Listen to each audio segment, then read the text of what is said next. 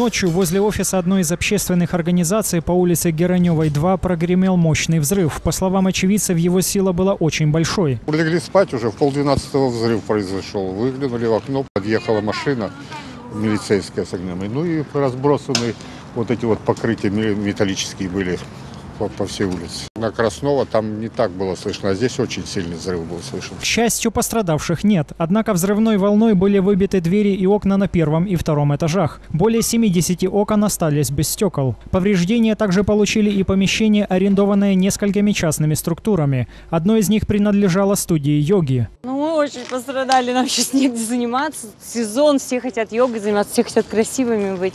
Сейчас будем искать помещение. Общественная организация, на которую и был направлен удар подрывников, занималась оздоровительными методиками для людей, страдающими неизлечимыми заболеваниями. Параллельно с этим сотрудники занимались и волонтерской деятельностью, помогали солдатам АТО. Однако эта работа не была связана непосредственно с пострадавшим офисом, а проводилась в другом месте. Я получила разрешение э, стоять возле гипермаркета на маршала Жукова. И там, собственно говоря, и стояла, и собирала продукты, ну, там нижнее белье и так далее. Потом это все паковалось, отправлялось в зону АТО. Но здесь ничего не собиралось, ничего не паковалось. По факту происшествия возбуждено уголовное дело. Ночное ЧП правоохранительные органы квалифицировали как теракт. Было установлено, что сработало взрывное устройство, установленное неизвестными у входной двери на первом этаже, где располагаются нежилые офисные помещения. На месте взрывотехники отработали место происшествия. Следственная оперативная группа э, должным образом зафиксировали происшествие. Э, По результатам внесены ведомости в единый реестр досудебных расследований по признакам преступления предусмотрено в части 1 статьи 258 Уголовного кодекса Украины террористический акт. Напомним, это уже третий взрыв за последнее время в этом районе. Ранее два взрывных устройства сработали в бизнес-центре «Адмиральский», который находится в квартале от Гераневой 2.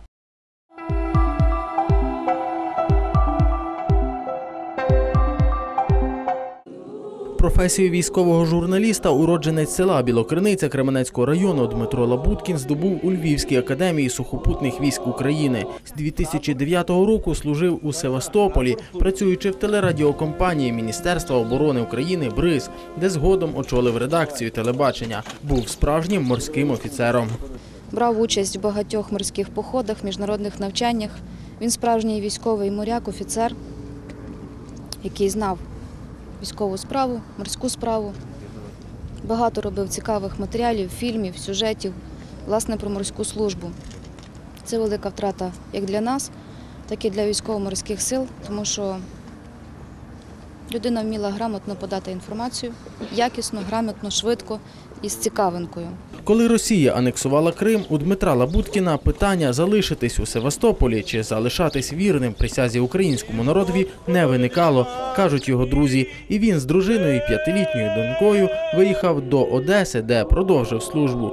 У січні поїхав на передову у зону АТО. В секторі С Дмитро Лабуткін був заступником керівника зі зв'язків з громадськістю та ЗМІ. В середині лютого загинув у Дебальцевому, виконуючи свій професійний обов'язок. Він виходив. Це був день виходу. Він міг би нічого не знімати, я ж кажу. У нього був наказ на вибуття до місць постійної дислокації до Одеси. Він їхав додому. Але їдучи додому, він залишався журналістом у всьому. Коли він виїздив на бронетранспортері з Дебальцевого, власне кажучи, він міг би не знімати нічого, не сидіти на броні, не ризикувати своїм життям, а бути всередині бронетранспортера це більш безпечно. Дмитра Лабуткіна шукали впродовж місяця. Врешті його впізнали у Дніпропетровському морзі. Сподівання були від до самого останнього. Всі чекали, всі сподівалися, що він живий, що все з ним добре. Чекали його рідні, близькі, чекали ми, ми його друзі. Всі його чекали, вся Україна його чекала.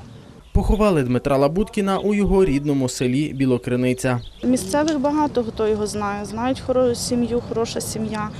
Е, Ну, практично можна сказати, він одружився, мало приїжджав, бо в нього, напевно, що була своя робота, свої справи. 29-річний Дмитро Лабуткін став першою втратою серед військових журналістів, залишив молоду дружину і п'ятирічну доньку. Співчуваємо рідним і близьким. Слава героєві!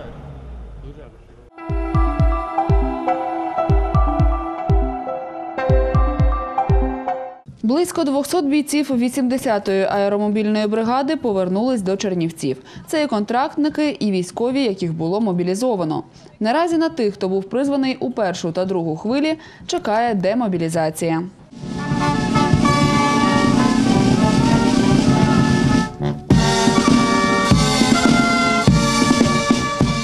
До Чернівців повернулись військові, які виконували найскладніші завдання на найнебезпечніших ділянках в зоні проведення антитерористичної операції. Їх зустріли з квітами, українськими стягами та урочистостями. Частину з них буде звільнено в запас, інші ж отримують відпустки, після яких знову відправляться в зону проведення АТО. У нас є військовослужбовці служби за контрактом, є і мобілізовані, які були в першу чергу, в другу чергу, в третю чергу. Ось зараз ті, які мобілізовані в першу і другу чергу, вони підлягають демобілізації. Одне з основних завдань, якраз буквально з понеділка, це їхнє звільнення. Вони відслужили встановлений термін, з честю виконали свій конституційний обов'язок. Тепер можуть бути вже йти в цивільне життя. Дмитра до служби в армії призвали у квітні минулого року. У зону проведення АТО хлопця відправляли двічі. Останнього разу він пробув на сході чотири місяці. Все добре. Слава Богу, всі приїхали живі, здорові з наших хлопців. Зараз вже, напевно, буде демобілізація, так як обіцяли. А далі будемо бачити. Будемо вірити в те, що нарешті буде в країні мир, щастя, здоров'я у всіх сім'ях, тому що вже достатньо українські сім'ї перебачили. Увесь цей час вдома на коханого чекала Оксана. Майже рік дівчина жила надією на повернення Дмитра. Чекала, дуже, дуже хотіла вже його побачити. Чекала зустрічі, лише надію жила на цей день, щоб вже побачити, сказати, що він вже біля мене і вже все. і Ми вже не розлучимося, будемо собі завжди разом. Дар'я Товпіч, Чернівецький репортер, телеканал Чернівці.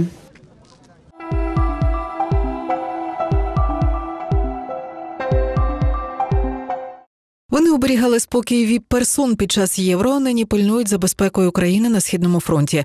В Івано-Франківську вишколюють собак правоохоронців для роботи у зоні проведення АТО. У місцевому кінологічному центрі УМВС таких троє: Хайкі, Боні та Люїс. Що таке служба на буремному Донбасі? Кожен із них відчув на власній шкурі, адже двічі, а то й тричі разом із своїми інструкторами їздили на тамтешні блокпости, стежити, щоб до мирної території не потрапили ані вибухівка, ані зброя. Було таке, що вона вже там приїжджає машина, відстойник вже стоїть, вона сама вже, я стою збоку, вона сама побігла шукати, вона вже знала свою роботу, сама побігла, сама все робить, м, розумниця. Для неї робота це для задоволення, вона так, так вона навчена, що вона ну, від роботи вона повинна отримати задоволення і вона, вона його отримує. Вчимо, щоб на постріл реагувала спокійно, вона взагалі не звертає, не ховає.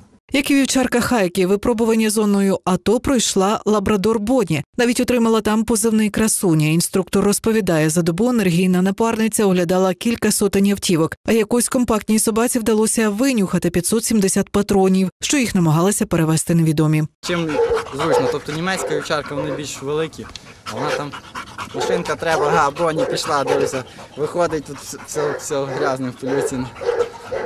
Що, що, що несеться? Шукали машини, оглядали ну, пакети, сумки, тобто речі особисті людей, які виїжджали з зони антитерористичної операції. На протязі місяця, тобто Новий рік, Різдво, ми там з нею працювали. Нині у трійки найкращих вихованців центру ротація, та навіть під час відпустки їм не до відпочинку. Щодня чотирилапі захисники проходять тренувальну муштру за унікальною методикою, яку розробили місцеві кінологи. Вона не може ні, гав, ні гавкати, ні царапати, нічого. Може бути датчик руху, датчик голосу, ще щось. Вона тільки безконтактне позначення. Або якщо вона низько, якщо закладка низько десь біля підлоги вона лягає, якщо вище, вона сідає. За таким же сценарієм хвостатих правоохоронців навчають шукати зброю чи патрони, коробкою з небезпечними предметами. Ті безпомилково знаходять за лічені хвилини. Безперервний вишкіл для прикарпатських пошуковиків триватиме щонайменше до травня, а далі знову робота в зоні АТО.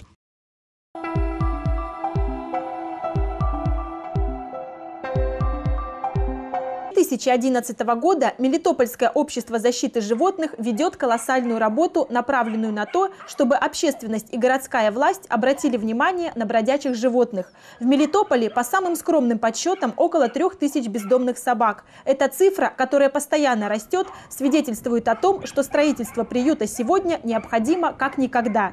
По словам председателя общества защиты животных Галины Мирошниченко, за четыре года члены общества уже добились некоторых положительных результатов своей работы. Приняты правила содержания животных в городе Мелитополе. Это является регуляторным актом, и от него уже могут отталкиваться и наши органы местного самоуправления, и мы, ну вот во всей нашей деятельности. Значит, выделено, выделен участок земли под строительство муниципального приюта по улице Речной. Значит, в этом году заложено э, 550, по-моему, тысяч на отлов э, и содержание бездомных животных. Как уже, в какой форме это будет город реализовывать, мы, конечно, не знаем. И, в общем-то, идет подготовка к проектированию приюта для животных. Значит, опять же, по моим сведениям, то, что мне давали органы мес- местного самоуправления, более около 300 тысяч заложено именно на проект, на подготовку проектной документации приюта для животных. Одним из направлений работы общества является содержание пункта передержки бездомных собак.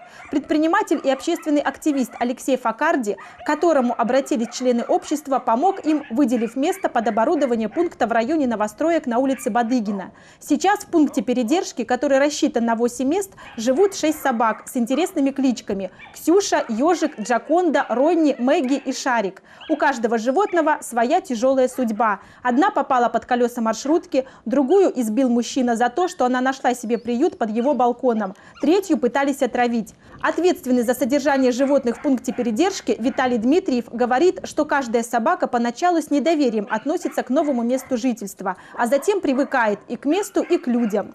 Характеры, конечно, разные. Ну, бывают агрессивные, конечно. Но со временем они привыкают к нам. Они смотрят, что хозяин кормит. Конечно же, они начинают, э, как говорится, по-доброму относиться. Средства на содержание собак выделяет как Общество защиты животных, так и Алексей Факарди. Некоторые мелитопольцы сами привозят еду собакам. Недавно в пункте передержки появились холодильник и электроплита.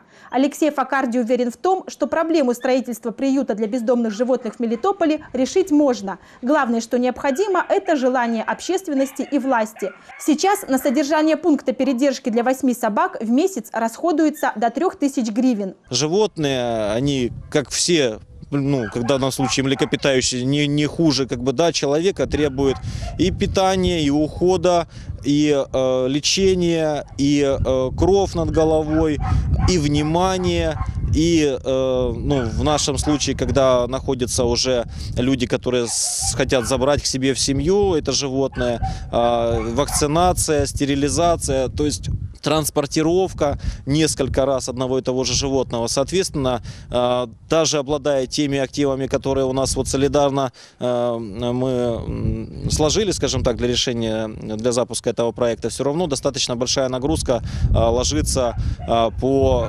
финансовой стороне. За 4 месяца работы пункта передержки 11 бездомных собак обрели новых хозяев.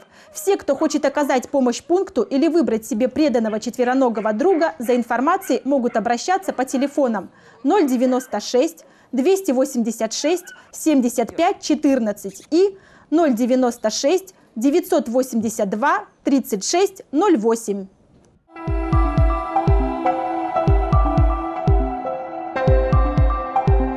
За останній місяць Ада Роговцева вже вдруге виступає на Дніпропетровській сцені. Щільний графік народної артистки не дає зробити перерву. Її прагнуть бачити всюди. Актриса жартує, коли б не нещастя, не було б і щастя. Ми весь час зараз мандруємо по Україні. Нам тут трішечки повезло в лапках, тому що російські не їздять, так нас запрошують частіше.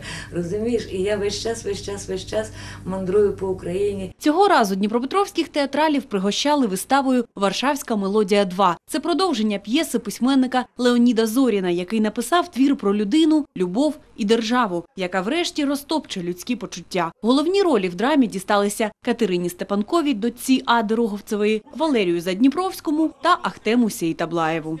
Это скорее пьеса о, ну, о таких о базисных, что ли, базовых человеческих чувствах э, и взаимоотношениях, как любовь, предательство, м, ответственность за того, кого приручил, невозможность э, бороться за свою любовь, страх перед системой. Поэтому это скорее такой вот, ну, спектакль о способе, что ли, выживания и борьбы человека из государственной машины, хотя, по большому счету, наверное, самим собой. Вистава побудована на спогадах Гелени, героїні Ади Роговцевої, її переживаннях та втрачених мріях. Колись розлучившись із своїм коханим Віктором, жінка і через багато років повертається в минуле, поринаючи у забуті почуття. Драматургия замечательная. а Продолжение написал, собственно, режиссер этого спектакля Игорь Афанасьев. Это вот через э, много лет м, героиня варшавской мелодии Геля, Елена, приезжает снова в Москву, встречает э, совершенно случайно человека, который, фразы которого и очень сильно напоминают э, вот ту ее первую любовь э, Виктора, э, с которым они по драматическим обстоятельствам расстались много лет тому назад. Першу варшавську мелодію Ада Миколаївна зіграла вже понад 670 разів, щоразу зриваючи овації зали. У варшавській мелодії два актриса із радістю поступаються роллю першого плану своїй дочці. Коли твоє дитя розумніше за тебе, і талановитіше, і більш орієнтується в сьогоденні, то велике щастя ту дитину слухати. Зала театру потроху наповнюється глядачами. Сьогодні тут очікують на аншлаг. Серед запрошених і українські захисники. Це особисте побажання акторської трупи. Наша зустріч із Адою Роговцевою проходить за півгодини до початку вистави. Актриса із задоволенням відповідає на всі питання і дуже просить передати своє тепле послання всім українцям. Буде і буде ще весна весною, ще оттане серце, треба жити. Піснею обернеться ясною в нашій долі ця нестерпна мить. З любов'ю до України Анастасія Коваленко, Артур Єфімов, об'єктив 27 канал.